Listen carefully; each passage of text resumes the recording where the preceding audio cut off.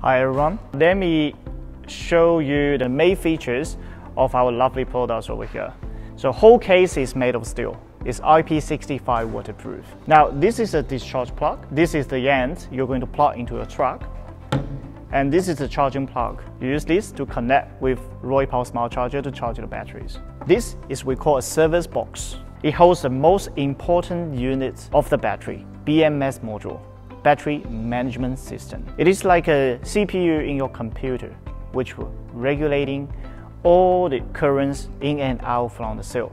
It holds a power button and also LED lines to show the status of the battery. This is a communication cable connected with the charging portal. By doing that, our smart charger will be able to communicate with the BMS modules housed in the service box while you're charging the battery.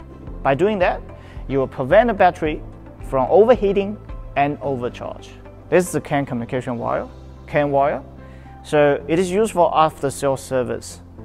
If the battery gets broken, this is a cable you need to tap into your laptops in order to diagnose the status of the battery and upgrade the BMS functions. Now this is the BDI gauge with a touch screens. Let's have a close look at the BDI gauge. You go at power buttons, you press it, it turns on the batteries and turn off the batteries. And the green line means everything runs smoothly. And the second page shows the voltage status of the individual cell. This is the temperature, and this how this battery has been set up. Then the last page, default inf information showed up in this last page. All right, so this is the um, smart charger we mentioned about. It forms another important part of the lithium battery systems.